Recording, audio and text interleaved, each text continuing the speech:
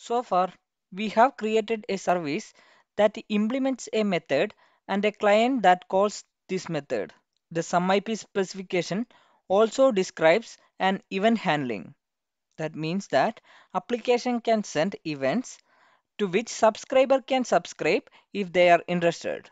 Now, with the help of Qt application, I have created one dashboard and you can see in this dashboard, we are visualizing speed, engine RPM and vehicle engine temperature and fuel status. Assume we have an ECU which will collect all of this information like speed, RPM, fuel, temperature and indicator information and sends to vehicle network.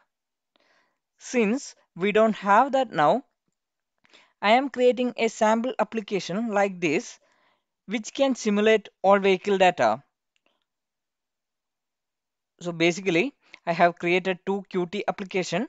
One is our dashboard, which will be our client application, which will be receiving all the notifications or events, and one application for sending these events.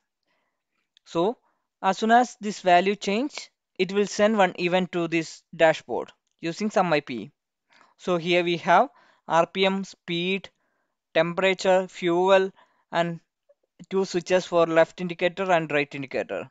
How we can implement that? In order to do that, you need Qt installed on your Linux PC and you have to clone this vsomeip sample application folder also. In this folder, you will be able to see one folder called dashboard. In this dashboard folder, you will be having two example implementation. One is for dashboard and another one is for vehicle simulator. Now I am opening this uh, project in Qt application or Qt creator. Now we have two projects. One is for vehicle simulator and another one is for dashboard. And this code is not perfect. I thought of implementing some sample sample code just for demonstrating the SOME/IP events. Now I'm going to run this vehicle simulator.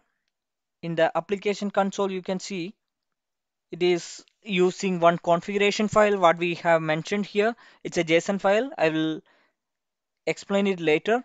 It's using this v.json file as configuration file. And here it is using network interface eth0 and this vehicle simulator will be offering some services. It's like a simulator. So using this you can simulate various rpm speed temperature and fuel values here you can see if I'm changing this value, it will send these values to SOME/IP client. Parallelly, I am opening one Wireshark terminal also. Here you can see some SOME/IP SD messages are coming. It's SOME/IP SD messages. So now the server is running. So it is offering some services. You can see these offer messages are coming. So our simulated ECU is offering some services. Now we can run the client application. Now I'm going to run this client application. Now you can see, let's go to the, yeah, here you can see it is using some other JSON file as configuration file. And here also it is using ETH0 as interface service is available. 1234 is our sample service so it is available. So now I'm going to change the RPM you can see now RPM is reduced. First I'm filling my fuel. So you can see the fuel gauge arrow is moving. Now if I'm changing the temperature you can see here in the dashboard, it is saying client notification for event 12345678 and uh, with the client session ID, which session ID, which value is coming, it is printing here. You can see if I'm changing the temperature, it will show our temperature change.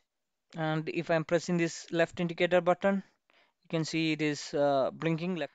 If I am pressing right indicator button, you can see the right indicator is blinking both of these applications are using SOME/IP for communication. It is an event-based communication. So whenever this value changes, it will trigger an event and this dashboard client will receive that event and it will visualize the data.